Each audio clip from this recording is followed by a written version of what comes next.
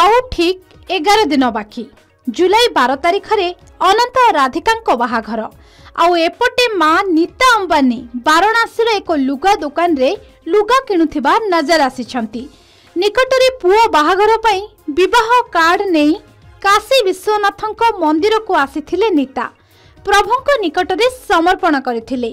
ଏବେ ପୁଣି ଥରେ ବାରାଣାସୀର ଲୋକାଲ ମାର୍କେଟରେ ଥିବା ଏକ ଲୁଗା ଦୋକାନରେ ନୀତାଙ୍କୁ ଦେଖିବାକୁ ମିଳିଛି। ପିଙ୍କ ଶାଢ଼ୀ ସହ ଅରେଞ୍ଜ ବ୍ଲାଉଜରେ ନୀତା ଖୁବ୍ ସୁନ୍ଦର ଦେଖାଯାଉଥିଲେ।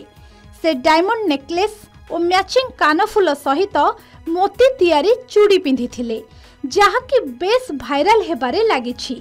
ବାରାଣାସୀରେ ସବୁବେଳେ ବିଭିନ୍ନ ରଙ୍ଗ ସହ ଶାଢ଼ୀର ସ୍ୱତନ୍ତ୍ର କାମ ଦେଖିବାକୁ ମିଳିଥାଏ। ବନାରସୀ ଶାଢ଼ୀର ରହିଛି ବିଶେଷ ଆକର୍ଷଣ। ନୀତା ଅମ୍ବାନୀ ବାରାଣାସୀର ଏକ ଲୁଗା ଦୋକାନରେ ପହଞ୍ଚି ଶାଢ଼ୀ ବାଛିବା ପରେ ଶାଢ଼ୀ କିଣିଥିଲେ ଏହା ସହ ଲୁଗା କାରିଗରଙ୍କୁ ଭେଟି ତାଙ୍କ ଡିଜାଇନ୍ ଆଦିକୁ ବେଶ୍ ପ୍ରଶଂସା କରିଥିଲେ ହଲିଉଡ୍ ବଲିଉଡ୍ ଏବଂ ଅନ୍ୟ ଦେଶରୁ ବିଭିନ୍ନ ଗେଷ୍ଟ ଆସି ଯୋଗଦେବେ ଅନନ୍ତ ଅମ୍ବାନୀଙ୍କ ବାହାଘରରେ ବାରାଣାସୀ ଶାଢ଼ୀର ଚାହିଦା ସାରା ବିଶ୍ୱରେ ରହିଛି ତେଣୁ ନୀତା ଅମ୍ବାନୀ ନିଜ ପୁଅ ବାହାଘର ପାଇଁ ଶାଢ଼ୀ କିଣିବାକୁ ଛୁଟି ଆସିଥିଲେ ବାରାଣାସୀ। ଏଠାକାର ଛୋଟେ ଲାଲ ପଲ୍ ନାମକ ବୁଣାକାରଙ୍କ ହାତ ତିଆରି ସ୍ୱତନ୍ତ୍ର ଶାଢ଼ୀ ନୀତାଙ୍କୁ ବେଶ୍ ପସନ୍ଦ ଆସିଥିଲା। ମୁକେଶ ଅମ୍ବାନୀ ଓ ନୀତା ଅମ୍ବାନୀଙ୍କ ପୁଅ ହେଉଛନ୍ତି ଅନନ୍ତ। ସବୁଠୁ ଧନୀ ପରିବାର ଭାବରେ କେବଳ ଭାରତ ନୁହେଁ ସାରା ବିଶ୍ୱରେ ପରିଚିତ। ଆଉ ନୀତା ଅମ୍ବାନୀଙ୍କ ପାଇଁ ଶାଢ଼ୀ ତିଆରି କରିଥିବାରୁ ବୁଣାକାରମାନଙ୍କର ମଧ୍ୟ ଖୁସିର ସୀମା ନାହିଁ। ନିଜ ପୁଅ ବାହାଘର ପାଇଁ ନୀତା ମୋ ହାତ ତିଆରି ଶାଢ଼ୀ ପିନ୍ଧିବେ ଯାହାକି ଟିଭି ଓ ସୋସିଆଲ ମିଡ଼ିଆରେ ଦେଖି ମୁଁ ଖୁସି। ସେ ମୋ ଶାଢ଼ୀକୁ ପସନ୍ଦ କଲେ ତେଣୁ କହିବାକୁ ମୋ ପାଖରେ ଭାଷା ନାହିଁ ଏହା କହିଛନ୍ତି ବୁଣାକାର। ନୀତା ଅମ୍ବାନୀଙ୍କ ପୁଅ ବାହାଘର ପାଇଁ ନିମନ୍ତ୍ରଣ କାର୍ଡ ଧରି କାଶୀ ଆସୁଥିବା ଦେଖିବାକୁ ମିଳିଥିଲା। ଦଶ ବର୍ଷ ପରେ ସେ ବାରାଣାସୀକୁ ଆସିଥିଲେ। ତେଣୁ ବହୁତ ଖୁସି ଥିଲେ। ବାରାଣାସୀରେ ବାବା କାଶୀ ବିଶ୍ୱନାଥଙ୍କୁ ଦର୍ଶନ ସାରି ସେ ଶାଢ଼ୀ ଦୋକାନରେ ପହଞ୍ଚିଥିଲେ।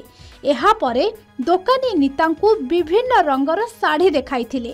ଯେଉଁଥିରେ କୋନିଆ ଟ୍ରେଣ୍ଡର ଲାଖ ବୁଟିକ୍ର ଶାଢ଼ୀ ବେଶ୍ ପସନ୍ଦ ଆସିଥିଲା ନୀତାଙ୍କୁ। ଏହାର ମୂଲ୍ୟ ଥିଲା ଏକ ଲକ୍ଷ ଅଶୀ ହଜାର ଟଙ୍କା। ନୀତା ଏହି ଶାଢ଼ୀକୁ କିଣି ନେଇଥିଲେ। ଦୋକାନୀଙ୍କ କହିବା ଅନୁସାରେ ପଚାଶରୁ ଷାଠିଏ ଖଣ୍ଡ ଶାଢ଼ୀ ଦେଖିବା ପରେ ନୀତାଙ୍କୁ ଏହି ଶାଢ଼ୀ ପସନ୍ଦ ଆସିଥିଲା। ଏତେ ଶାଢ଼ୀ ଭିତରେ ନୀତାଙ୍କୁ ଦୁଇଟି ଶାଢ଼ୀ ଅଧିକ ପସନ୍ଦ ଆସିଥିଲା।